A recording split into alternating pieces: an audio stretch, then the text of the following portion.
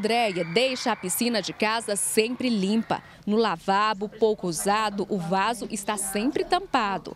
A geladeira também é vistoriada para ver se não tem água parada atrás. E as plantas nem pratinho para acumular água têm.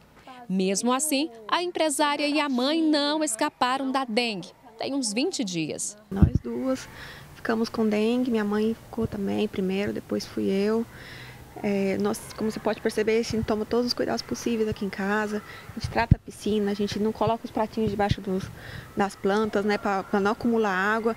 Mas mesmo assim a gente pegou.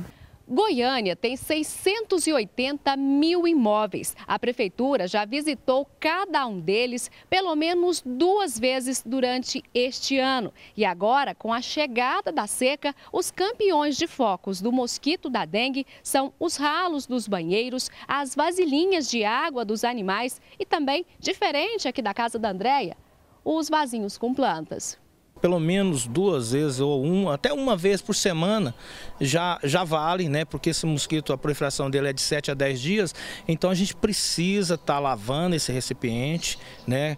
Com água, com bucha, com sabão, para eliminar alguns ovos que ficam nesse local e também o animal até tomar uma água mais limpa. Mesmo na seca, o mosquito da dengue continua firme e forte na capital. Os moradores sempre ligam ele à chuva e não é bem assim.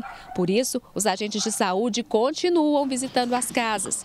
Este ano foram notificados 19.970 casos da doença e dois deles resultaram em mortes. Inclusive ainda nós estamos ainda tendo transmissão de casos de dengue, né? Lembrando que nessa época é uma época que não está chovendo e sim nós temos criadouros que não dependem da chuva, né? Que são caixa d'água, são piscinas, ralos. Então, assim, a gente precisa realmente que a população entre é, nesse trabalho junto com a gente para a gente conseguir realmente eliminar todos esses mosquitos que estão em Goiânia.